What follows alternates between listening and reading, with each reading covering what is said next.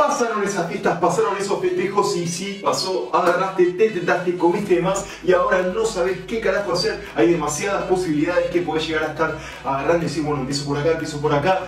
Te vamos a tirar la posta con tres tips clave que puedes hacer para volver on fucking track, para volver al fitness una vez que la cagaste.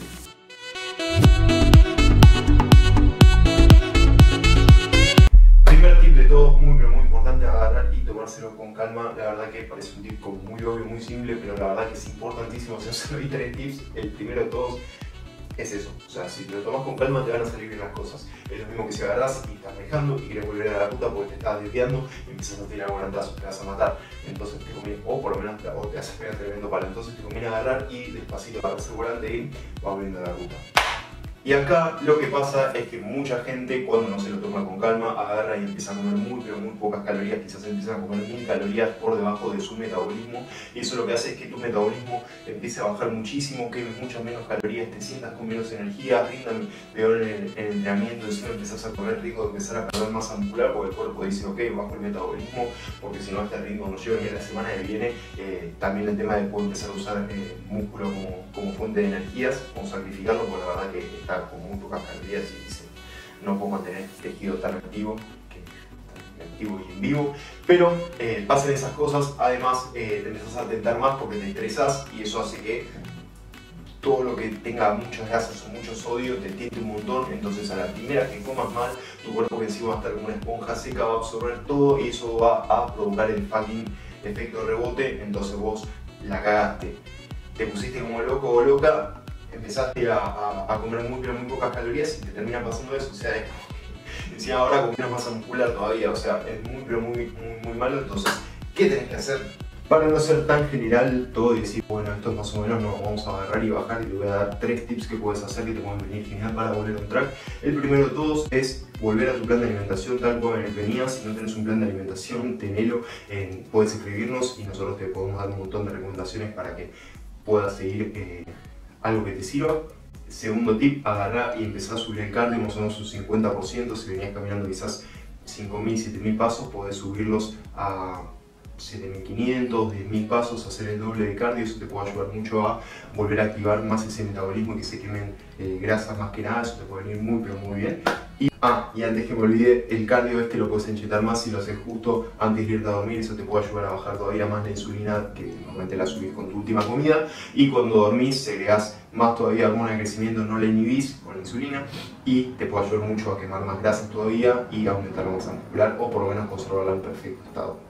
Y la tercera cosa te puede ayudar mucho para volver on track, para volver al fitness, a lo que querés lograr con tus objetivos, es agarrar y empezar a tomar más té verde. El té verde está comprobado que ayuda a elevar más el metabolismo y ayuda también a oxidar más las grasas, aunque está comprobado que el efecto se produce a partir de más o menos los 8 o 9 saquitos de té verde por día, así que es para tenerlo en cuenta, pero yo por lo menos me encontré la vuelta agarrando, armándome jarras de quizás 4 o 5 eh, saquitos y me voy tomando durante el día. Las puedes usar en lugar de agua para los batidos proteicos y te ayudan mucho, así que puedes tener eso en cuenta y te puede ayudar mucho para volver on track sin volverte loco, porque lo mismo que con el más 50% cardio y con un poco más de té verde, son cosas que todos podemos volver a... Eh, ponernos a hacer sin volvernos locos, sin estresarnos, que es muy, pero muy importante para cumplir el primer tip que es, así es, tomarse con calma.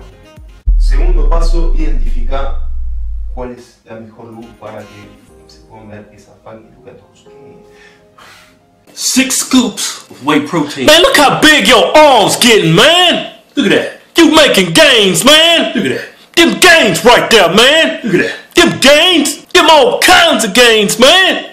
nos dejamos olvidar.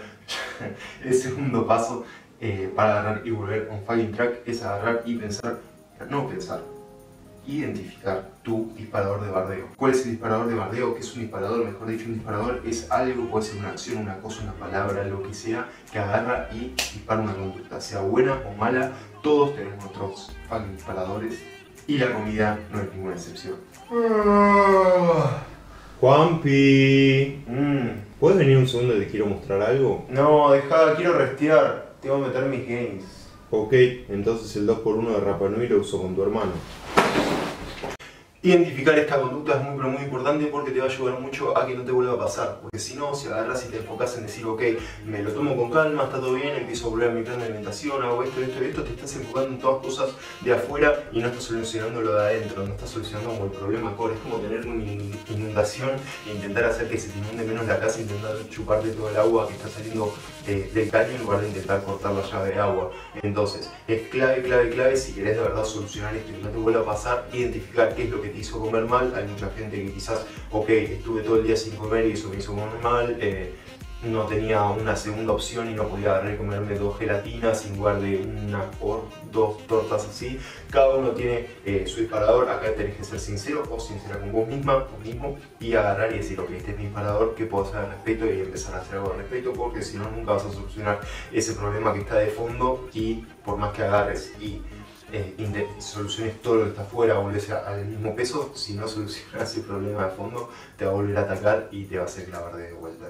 Y el tercer paso intenta resolver uno de los problemas más comunes y grandes de todos, que es no buscarle el pelo al huevo. Cuando la gente le empieza a salir mal, no empieza a ver resultados en el fitness, empieza a decir, ok, tengo que cambiar esto de mi plan de alimentación, tengo que cambiar esto de mi plan de entrenamiento. Empiezan como a buscarle el pelo al huevo cuando en realidad no tienen un solo fucking pelo y no se dan cuenta que lo que más los está afectando es no poder seguir ese plan de alimentación o ese plan de entrenamiento por el tiempo suficiente para que fucking muestre los resultados que tiene que mostrar. No, viejo, estos pibes, bupa. No, me cagaron, me cagaron. No, un entrenamiento.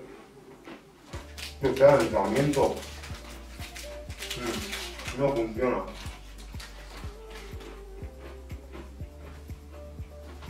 Hago todo lo que me dicen y cada vez estoy peor. No, luego, hijo de puta, hijo de puta. Man el tema de los planes de entrenamiento y de la alimentación están hechos para que den resultados, pero llevan su tiempo. Y si vos venís entrenando muy bien, pero con la alimentación venís cagando, puede que igualmente te dé resultados, pero te va a llevar mucho más tiempo. Pero de ahí lo que hacen muchos es agarrar y cambiar ese mismo plan de entrenamiento que está tan pero también pensado eh, para que funcione en el tiempo, lo cambian e intentás agarrar y subir más las repeticiones, intentas subir más los pesos, intentas cambiar los ejercicios para sentir que te estás estresando más y te estás exigiendo más.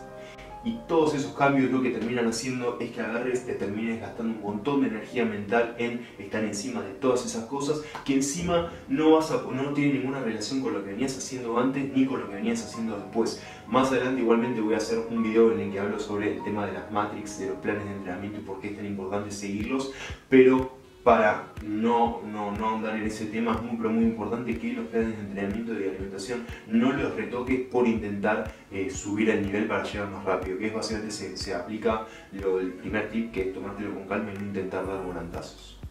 Claro, clear man, capilli, capilli, cheto. En resumen, my men, los tres pasos claves para agarrar y volver a un track son primero todos, agarrar y tomártelo con calma, vas a terminar volviendo mucho, pero mucho más rápido si te lo tomas con calma que si intentás hacer todo rapidísimo y como loco. Acordate que el estrés es tu peor enemigo. Segundo, identifica cuál es tu disparador de bardeos. Acordate que un árbol solo lo cortás y vas por el tronco, si vas y le cortás las ramitas no te sirve, lo mismo lo que decía el caño en la inundación, no te empieces a chupar todo el agua para solucionar una inundación, si no cortás la llave de agua, andar por ese problema grande, sino que vas a encargar de, ok, de verde, eh, agarro y, duermo mejor, hago un poco más de cardio, vuelvo a un track, pero después te va a volver a pasar lo mismo porque no solucionaste qué fue lo que te hizo comer mal. Así que eso es muy, muy importante.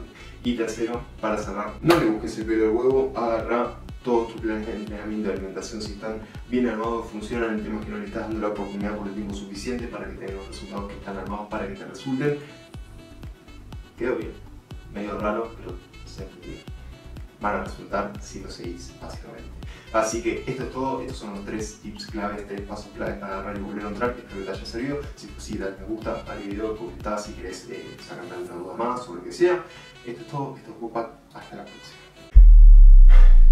Bueno, en cuanto a experiencias personales de cada vez que la cagué con uno de estos tres pasos, fue que no, cuando me lo tomaba con calma, una vez me, por ejemplo me pasó que me, tipo, la cagué muy mal eh, y por seis días no comí directamente cuando tenía 17 años y la verdad que me vino muy mal, o sea, bajé como 10, 11 kilos, después volví a subir y, la verdad no me sirvió porque no, no, era el segundo paso también, que no me había dedicado a identificar cuál era mi disparador, quizás las lasañas de mami eran un gran disparador, quizás cuando compraban 12 empanadas solo para mí, de las que me gustaban, carne cortada, cuchillo, como una salsa mucheta, las papeaba todas y eso no, así, no me servía, entonces eh, en mi experiencia personal esas fueron grandes cosas que hicieron que la guardé mucho.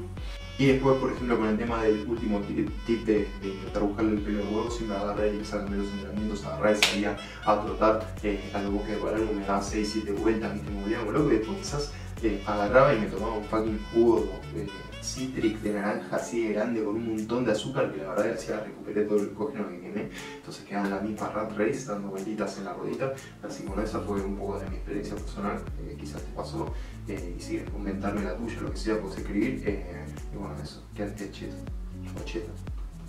Bueno, Posta, gracias por, por, estar bancándonos. Esperamos que te esté gustando el contenido. Si tenés recomendaciones, la verdad nos viene genial que agarres y nos comentes qué es lo que te gustaría ver para que podamos armar los, los materiales que más te sirvan y bueno, así ir haciendo que pase, que andes muy bien.